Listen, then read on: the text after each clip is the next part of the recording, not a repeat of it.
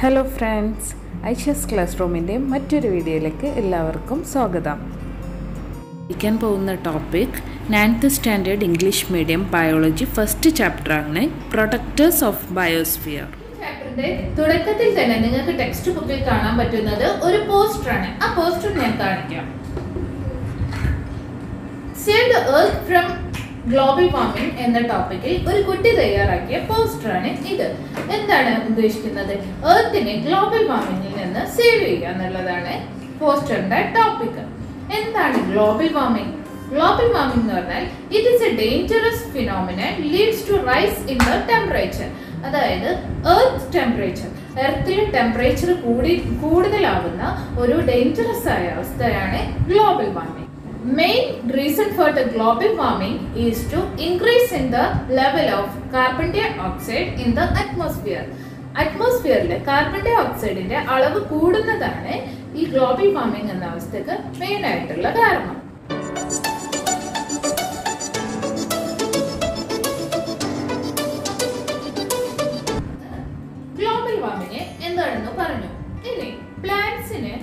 ഒരു പരിധി വരെ ഈ ഗ്ലോബൽ വാർമിംഗ് റെസിസ്റ്റ് ചെയ്യാൻ സാധിക്കുന്നതാണ്. പ്ലാന്റ്സിൽ നടക്കുന്ന എന്ത് പ്രോസസ്സാണ് ഓക്സിജനെ കാർബൺ ഡൈ ഓക്സൈഡിനെ റെഗുലേറ്റ് ചെയ്യുന്നത്? നിങ്ങൾക്കറിയാം. ചെറിയ ക്ലാസ് മുതലേ നമ്മൾ പഠിച്ചതാണ്. ഫോട്ടോസിന്തസിസ് അല്ലേ? Is the process of photosynthesis. In this process, plants regulate the level of oxygen and carbon dioxide in the atmosphere. പ്ലാന്റ്സിൽ നടക്കുന്ന ഫോട്ടോസിന്തസിസ് എന്ന പ്രോസസ്സാണിത് ഈ പ്രോസസ്സിലൂടെ പ്ലാന്റ്സ് കാർബൺ ഡൈ ഓക്സൈഡിന്റെയും ഓക്സിജന്റെയും അളവ് റെഗുലേറ്റ് ചെയ്യുന്നു. Sunlight carbon dioxide water mineral are the major factors that required for photosynthesis ഏത് പാർട്ടിലാണ് ഫോട്ടോസിന്തസിസ് നടക്കുന്നത്? ഗ്രീനിഷ് കളറുള്ള എല്ലാ പാർട്ടിലും ഫോട്ടോസിന്തസിസ് നടക്കും എങ്ങനെ? ഗ്രീൻ കളറിന് എന്ത് കാരണം?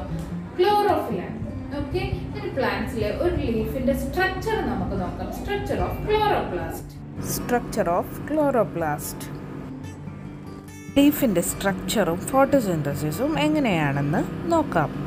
ജീവമണ്ഡലത്തിലെ പാചകപ്പൊരുകളാണല്ലോ ലീവ്സ് ഈ ലീവ്സിന് സൺലൈറ്റ് ഉപയോഗിച്ച് ആഹാരം നിർമ്മിക്കാനുള്ള കഴിവുണ്ട്.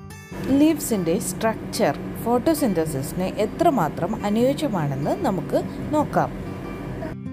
ഓഫ് ലീഫ് ഫോട്ടോസിന്തസിസിന് അനുയോജ്യമായ ഭാഗം ലീഫിൽ എവിടെയാണുള്ളത്? നമുക്ക് ഒരു സെല്ല് പരിശോധിക്കാം.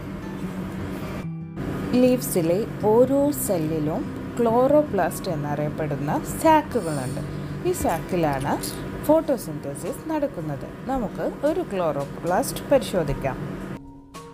ക്ലോറോപ്ലാസ്റ്റിന് രണ്ട് മെംബ്രെയിനുകളാണ് ഉള്ളത്. ഔട്ടർ മെംബ്രെയിനും ഇന്നർ മെംബ്രെയിനും ഇന്നർ മെംബ്രെയിനിലെ ഫ്ലൂയിഡ് പാർട്ടാണ് സ്ട്രോമ. ക്ലോറോപ്ലാസ്റ്റിലെ മെംബ്രെയിനെ സാക്കാണ് ഗ്രാന. ഗ്രാനകളെ പരസ്പരം ബന്ധിപ്പിക്കുന്ന ചാലുകളാണ് സ്ട്രോമ ലാമെല്ലെ. ഗ്രാനകളിലാണ് ഫോട്ടോസിന്തസിസിന് സഹായകമാകുന്ന പിഗ്മെന്റ്സ് കാണുന്നത്. ഗ്രാന പരിശോധിക്കാം. ഗ്രാനയിൽ chlorophyll A chlorophyll B carotene xanthophyll എന്നീ പിഗ്മെന്റുകൾ കാണപ്പെടുന്നു. ഈ പിഗ്മെന്റിന് എല്ലാം തന്നെ സൺലൈറ്റിനെ അബ്സോർബ് ചെയ്യാനുള്ള കഴിവുണ്ട്. എന്നാൽ ക്ലോറോഫിൽ എ മാത്രമാണ് ഫോട്ടോസിന്തസിസിൽ നേരിട്ട് പങ്കെടുക്കുന്നത്. മറ്റുള്ളവ സൺലൈറ്റിനെ അബ്സോർബ് ചെയ്ത് അത് ക്ലോറോഫിൽ എക്ക് കൈമാറുന്നു. അതുകൊണ്ട് ഇവയെ ആക്സസറി പിഗ്മെന്റ്സ് എന്നാണ് അറിയപ്പെടുന്നത്. ഗ്ലോബൽ വാർമിങ്ങും ഫോട്ടോസിന്തസിസും സ്ട്രക്ചർ ഓഫ് ക്ലോറോപ്ലാസ്റ്റും പഠിച്ചു. ഇനി ലാസ്റ്റ് ആയിട്ട് ഫോട്ടോസിന്തസിസിൽ ലൈറ്റ് റിയാക്ഷനും ഡാർക്ക് റിയാക്ഷനും എങ്ങനെയാണെന്ന് നോക്കാം. ഫോട്ടോസിന്തസിസിന് രണ്ട് ഫേസസ് ആണുള്ളത്. ലൈറ്റ് ഫേസും ഡാർക്ക് ഫേസും ലൈറ്റ് ഫേസ് ക്ലോറോപ്ലാസ്റ്റിലെ ഗ്രാനയിലും ഡാർക്ക് ഫേസ് ക്ലോറോപ്ലാസ്റ്റിലെ സ്ട്രോമയിലുമാണ് നടക്കുന്നത്. ലൈറ്റ് ഫേസിൽ ലൈറ്റ് ഉപയോഗിക്കുന്നു. ഡാർക്ക് ഫേസിൽ ലൈറ്റ് ഉപയോഗിക്കുന്നില്ല. ലീവ്സിൽ എത്തുന്ന വാട്ടർ സ്പ്ലിറ്റ് ചെയ്തിട്ട് ഓക്സിജനും ഹൈഡ്രജനുമായി മാറുന്നു.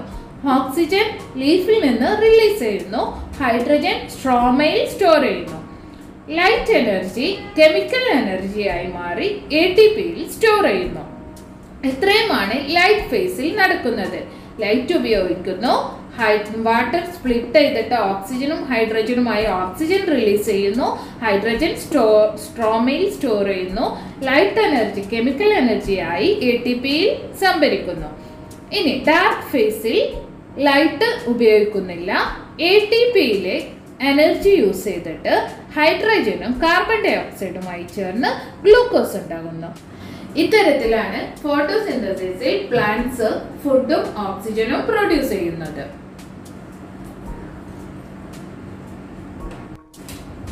ഫോട്ടോസിന്തസിസിൽ ലൈറ്റ് ഫേസിന് ശേഷം ഡാർക്ക് ഫേസ് നടക്കുന്നു ഡാർക്ക് ഫേസിലെ ഈ സൈക്ലിക് റിയാക്ഷൻ കണ്ടുപിടിച്ചത് മാൽവിൻ കാൽവിൻ എന്ന സയന്റിസ്റ്റാണ് അതുകൊണ്ട് ഈ ഫേസിനെ കാൽവിൻ സൈക്കിൾ എന്ന് അറിയപ്പെടുന്നു.